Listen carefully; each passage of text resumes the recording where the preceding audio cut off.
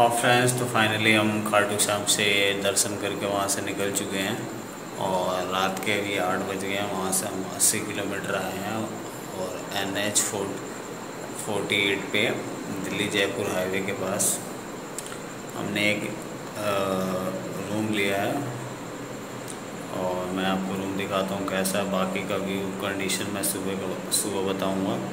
अभी हम काफ़ी थक चुके हैं। रूम का एंट्रेंस कुछ इस तरह है। ये सिंगल बेड का हमने रूम लिया है।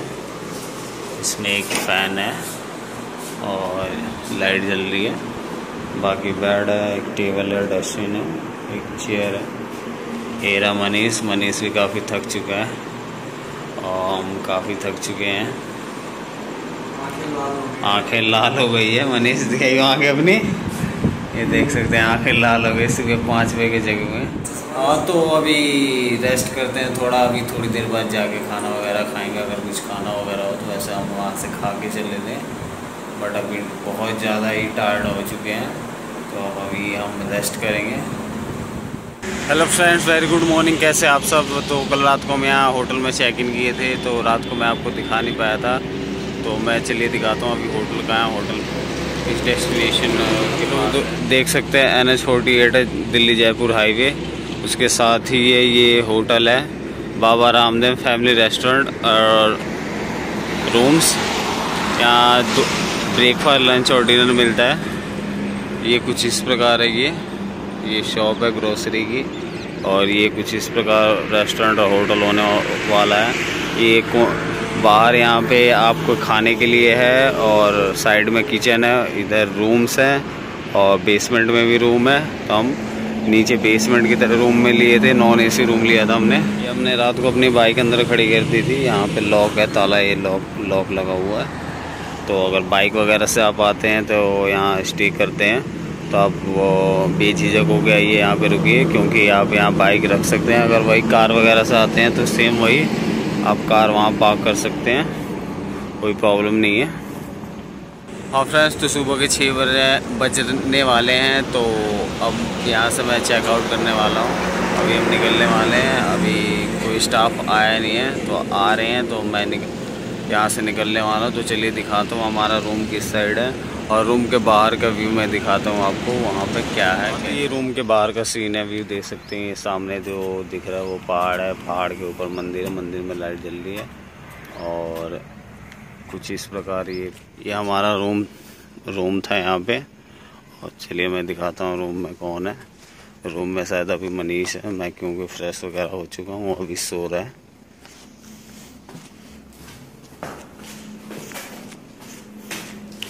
ये देखिए मैंने सामान वगैरह पक कर दिया बस मनीष सो रहा है मनीष जल्दी उठ जा हमें चलना है निकलना है अब यहाँ से। आ रहा है वो हमें चेकआउट करने के लिए वहाँ सामान वगैरह लेके जाना पड़ेगा। अब फ्रेंड्स तो हम सब रेडी हो चुके हैं मनीष भी अब पाँच दस मिनट में रेडी हो जाएगा। तो अब हम यहाँ से दिल्ली की तरफ़ निकलने वाले हैं। अब दिल्ली में हम आपको मिलेंगे। रास्ते में जो कुछ ऐसी चीज़ें आएँगी जो मैं एक्सप्लोर करने वाली होगा मैं आपको दिखाऊँगा। और एक बार मैं आपको जैसे रूम से बाहर निकलते ही दिखा रहा हूँ जी क्या मतलब व्यू है कितना अच्छा लगता है। एक जैसे ही हम रूम से बाहर निकलते हैं बिल्कुल इस, इसके सामने ही पीछे पहाड़ है मिट्टी की। ये डेड डेड पहाड़ है देख सकते हैं आप लोग। और फ्रेंड्स तो ये हमारे रूम के बाहर का व्यू है। ये हमारा रूम है, ये रूम था और सबसे कोने वाला। और रूम से निकलते ही बाहर देखिए क्या व्यू है ये। ये सामने भी पहाड़ और ये भी पहाड़। और बादल देखिए, एकदम से चल रहे हैं एकदम। ये देखिए माइंड ब्लोइंग कहें तो ना और फ्रेंड्स तो फाइनली हम यहाँ से चेकआउट कर चुके हैं। अब यहाँ से निकलने वाले हैं। हम सामान वगैरह सारा लेके आ चुके हैं। मनीष हो रहा बैग टांग रहा है हेमलेट लेके आ रहा है। मैं यहाँ गाड़ी लेके आ गया। दर्शन काफ़ी अच्छे हुए चले, निकलते हैं दिल्ली की तरफ़। ये हमारी गाड़ी है। गाड़ी को हमने वार्म अप के लिए स्टार्ट कर दिया है। अब हम यहाँ से निकलते हैं और चलिए चलते हैं। ये बगल में ही एन है। यहाँ से हम निकल रहे हैं। तो मिलते हैं आपको रास्ते में। फ्रेंड्स फाइनली हम होटल से चेकआउट करके अपने घर की तरफ़, दिल्ली की तरफ़ निकल चुके हैं। तो राजस्थान में अभी सुबह हो रही है, बहुत ही अच्छा मौसम है। सूर्य देव अपनी तीव्रता के साथ निकल रहे हैं। मौसम इतना अच्छा है, पहाड़ आप देख सकते हैं कितने अच्छे लग रहे हैं। और इन पहाड़ों में जो सुबह सुबह हवा चल रही है, बहुत ही ठंडी हवा चल रही है, बहुत ही अच्छा लग रहा है। और माइंड ब्लोइंग व्यू है। तो आप सिनेमैटिक शॉट एंजॉय करिए, मिलता हूँ आपसे आगे।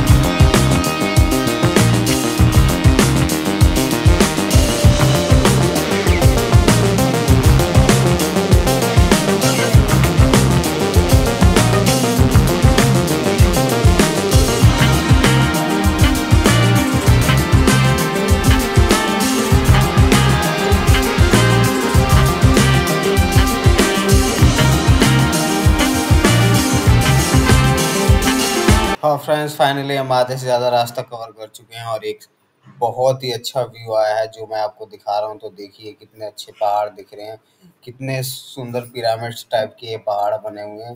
तो आप इन पहाड़ों को एंजॉय कर रही है और मिलता हूँ मैं आपको दिल्ली में अपने घर पे। तो कुछ इन्फॉर्मेशन भी देनी है तो मिलते हैं थोड़ी ही देर।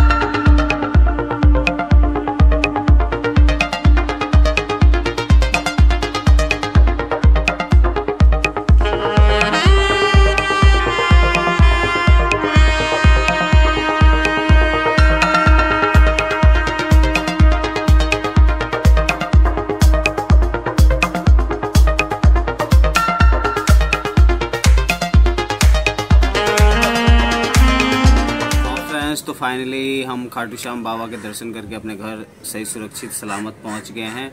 और मैं आपको कुछ डिटेल शेयर करना चाहूँगा, कुछ एक्सपीरियंस अब आप सभी के साथ शेयर करना चाहूँगा। मैं अभी छत पे बैठा हूँ, मौसम काफ़ी अच्छा हो रहा है। और दो दिन से बाहर थे तो आज छत पे बैठे हैं तो मैं कुछ डिटेल आपके साथ बताऊँगा। अभी मैंने रेस्ट वगैरह कर लिया, मनीष मनीष नीचे रेस्ट कर रहा है, कल उसका पेपर है तो वो सो रहा है। तो चलिए मैं आपके साथ कुछ डिटेल जो शेयर करना था, वो मैं बताता हूँ क्या डिटेल मुझे आपके साथ शेयर करना था और क्या क्या बातें आपको मुझे बतानी है। तो फ़र्स्ट ऑफ़ ऑल जैसे कि आपने देखा होगा मेरे ब्लॉग में मैं स्प्लेंडर प्लस बाइक से गया था तो उसका ख़र्चा मैं बताऊँगा, वहाँ रहने का ख़र्चा बताऊँगा और बाकी सब डिटेल बताऊँगा। तो फ़र्स्ट ऑफ़ ऑल सबसे पहला जो हमारा ख़र्चा वो तो हमारा जो बाइक से जाने का दिल्ली टू खाटू श्याम जो खर्चा आया है, वो आया है लमसम बारह सौ रुपये पेट्रोल का। अब बाकी हम सर्विस वगैरह पहले करा के गए थे। तो अब मैं बता रहा हूँ, बारह सौ रुपये खर्चा कैसे हमारा आया पेट्रोल का। तो जैसे कि मेरे पास हंड्रेड सी सी बाइस बाइक है स्प्लेंडर प्लस तो मैं जहाँ रहता हूँ नजफगढ़ में रहता हूँ, वहाँ से खाटू श्याम का दूरी मैप पे दो सौ तिरसठ चौंसठ किलोमीटर के आसपास बता रहा था यहाँ से। बट अगर हम मैप के थ्रू जाते हैं मैप लगा के जाते हैं तो खाटू श्याम बाबा के दरबार से 15 किलोमीटर पहले ही आपका मैप लोकेशन ख़त्म हो जाता है। ये सेफ्टी पर्पज़ से भी हो सकता है, बाकी लोकेशन प्रॉब्लम भी हो सकती है। तो फ्रेंड्स तो फ़र्स्ट ऑफ़ ऑल जो दिल्ली से खाटू श्याम की दूरी है अप्रोक्सीमेटली आप मान के चले, जो 300 किलोमीटर प्लस है 300 किलोमीटर हो, है फाइनल मान के चले। तो हमारा बारह सौ रुपये का पेट्रोल इसमें लगा, हम दो जने गए थे और डबल हम बैठे थे बाइक पे, इसलिए हम बाइक है नॉर्मल स्पीड से चला रहे थे 50 किलोमीटर पर आवर के स्पीड से तो अप डाउन का हमारा ख़र्चा पड़ गया बारह सौ रुपये पेट्रोल का तो बहुत ही नॉर्मल है।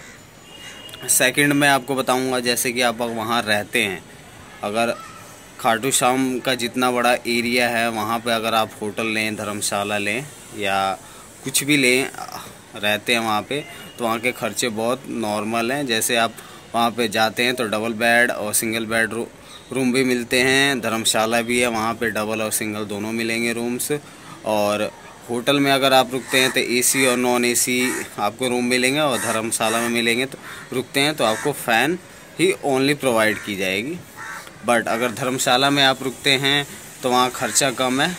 मगर साफ़ सफ़ाई आपको खुद करनी पड़ेगी झाड़ू वगैरह खुद लगाना पड़ेगा बाकी बिस्तर वगैरह आपको खुद कैरी करके लाना पड़ेगा जहाँ से वो देंगे। सेकंड अगर होटल में आप जाते हैं तो वहाँ आपको सब कुछ करा कराया मिलेगा तो बा, बाकी उसको आपको एक्स्ट्रा चार्ज पे करना होगा। यही सब बातें हैं जो मैं आपके साथ बताना चाहता हूँ। और रह गया थर्ड बात थर्ड बात जो मैं आपको बताना चाहता हूँ जैसे कि आप खाटू बा शाम बाबा के दरबार में दर्शन करने जाते हैं और वहाँ पे जैसे पार्किंग हो गया, चाहे होटल हो गया, चाहे धर्मशाला हो गया, वहाँ पे आप जो सामान पर्ची कटवा के, जो सामान जहाँ रख के जाएँगे, वापस आप आएँगे तो आपका सामान वहीं मिलेगा। वहाँ चोरी वगैरह का ऐसा कोई सीन नहीं है जब आप कोई सामान रख के गए, पर्ची ले, पर्ची लेके गए और पर्ची लेके आने के बाद आपका सामान वो मिसप्लेस मिलेगा। ऐसा बिल्कुल भी नहीं है, जो सामान आपका हीरे हो, जवरात हो, बाइक हो, स्कूटर हो, चाहे कार हो, चाहे कितना भी महँगा सा महँगा सामान हो, आपको आपके जगह पे ही मिलेगा। ये सबसे मेन पॉइंट मुझे वहाँ की सबसे अच्छी बात लगी। वहाँ चोरी वगैरह ऐसा कुछ सीन नहीं है जैसे बाकी जगह पे होता है। ये चीज़ मुझे काफ़ी अच्छा लगा वहाँ का। कि मैं आप सबको कहना चाहूँगा, अगर आप कुछ प्रॉब्लम झेल रहे हैं फैमिली में चाहे ऐसे हो एजुकेशन से लेकर हो करियर को लेकर हो आपका मन विचलित हो रहा हो आपको न, आपके अंदर नेगेटिव थॉट आ रहे हैं तो बाबा खाटू श्याम के दरबार में आप दर्शन करने ज़रूर जाएँ। हारे का सहारा खाटू श्याम हमारा। और आप वहाँ जाएँ वहाँ पे कोई मतलब ये नहीं है कि ज़्यादा आपका खर्चा होगा आप कैसे भी जा सकते हैं। बाइ बाइक से जा सकते हैं, बस से जा सकते हैं, ट्रेन से जा सकते हैं। बहुत नॉर्मल ख़र्चा है वहाँ पे। आप जाइए, दर्शन अच्छे से करके आइए। ये नहीं कि वहाँ पे लाख, दो लाख, पचास हज़ार आपको चढ़ावा चढ़ाना है, मिठाई प्रसाद। जो आपके मन की इच्छा हो तो अगर आपके पास एक रुपये हो, दो रुपये हो, चाहे हज़ारों में पैसे हों, जितने का आपका मन करे, आपका दिल करे, वो चीज़ चढ़ाइए। बाकी आपके श्रद्धा के ऊपर है, जो आप क्या कर रहे हैं, कैसे कर रहे हैं। तो मुझे बहुत एक्सपीरियंस हाँ फ्रेंड्स, अगर आप सबने यहाँ तक वीडियो देख ली होगी तो चैनल को सब्सक्राइब प्लीज़ ज़रूर कीजिएगा। वीडियो अच्छी लगी हो तो एक अच्छा सा कमेंट ज़रूर बत कीजिएगा और वीडियो अपने फ्रेंड्स और रिलेटिव में ज़रूर शेयर कीजिएगा। अगर अच्छी लगे तो और ऐसे ही मेरे साथ बने बने रहिए मेरे साथ, मेरे चैनल पे, और मैं आपको आगे भी ऐसे एंटरटेन करता रहूँगा। तो इस वीडियो को यहीं पे एंड करते हैं। तो मिलते हैं नेक्स्ट वीडियो में तब तक के लिए बाय बाय